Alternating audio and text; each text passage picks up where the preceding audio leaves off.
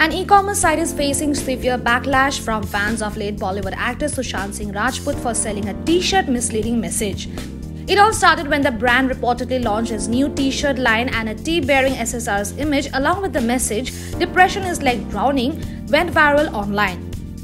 This irked SSRians as the message indicated that Sushant died by suicide. Calling it a smear campaign against the late actor, fans demanded an apology from the online shopping platform and the removal of the shirt from their line. One user wrote, Country has not yet come out of the shock of Sushant's tragic death.